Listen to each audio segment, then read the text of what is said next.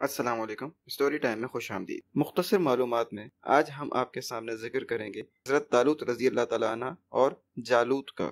تالوت رضی اللہ تعالیٰ عنہ اللہ تعالیٰ کے برگزیدہ بندے سعدی رحمۃ اللہ علیہ کہتے ہیں کہ تالوت پیشہ کے اعتبار سے سقا یعنی پانی پلانے والے ایک روایت جو کہ وہ بن ممبا رحمۃ اللہ علیہ کے مطابق ہے کہ تالوت پیشہ کے اعتبار سے رنگ ساز تھے۔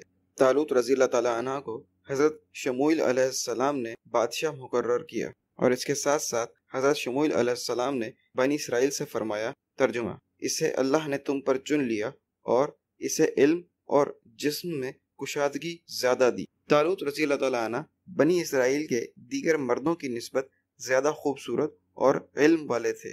تالوت رضی اللہ تعالیٰ عنہ نے اس وقت کے ایک ظالم بادشاہ جالوت کا مقابلہ کرنے کا ارادہ فرمایا۔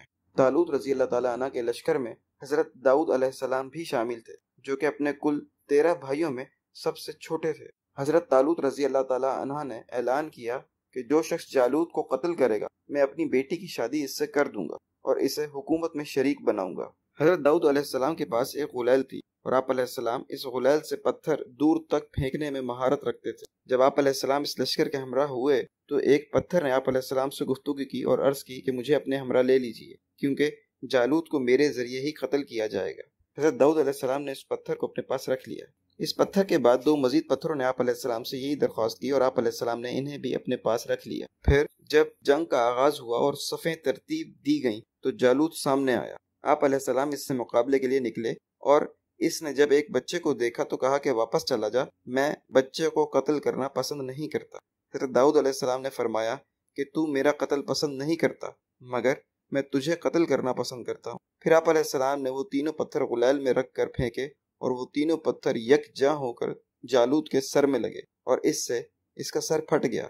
جالوت کے لشکر نے جب یہ منظر دیکھا تو وہ خوف زدہ ہو کر بھاگ نکلے۔ یوں اللہ تعالیٰ نے حضرت تالوت رضی اللہ تعالیٰ عنہ کو جالوت کے لشکر پر فتح دی اور انہوں نے اپنا کیا گیا وعدہ پورا کیا یعنی انہوں نے اپنی بیٹی کی شادی حضرت داؤد علیہ السلام سے کر دی۔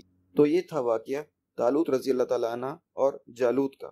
ہمیں یقین ہے کہ یہ واقعہ آپ کو پسند آیا ہوگا اور آپ کی معلومات میں اضافہ ہوا ہوگا۔ آپ سے گزارش ہے کہ ہماری ویڈیو کو لائک کریں، اسے شیئر کریں۔ ساتھ ہی ساتھ ہمارے چینل کو سبسکرائب کریں اور بیل آئیکن پر لازمی کلک کریں تاکہ مزید آنے والی ویڈیوز اور معلومات سے فائدہ حاصل کر سکیں۔ شکریہ۔